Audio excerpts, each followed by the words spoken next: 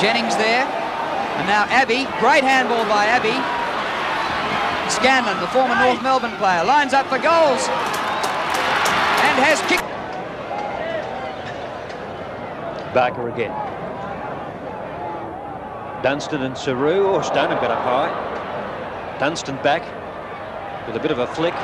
Denatali in towards Jennings. Templeton will get a free kick. No, he won't. It's going to be a goal to Scanlan, his second. There's raining goals at the moment.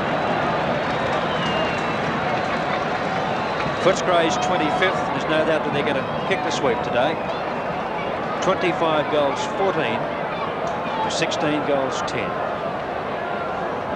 It's a long while since Footscray supporters have been treated to an exhibition like this, a win like this.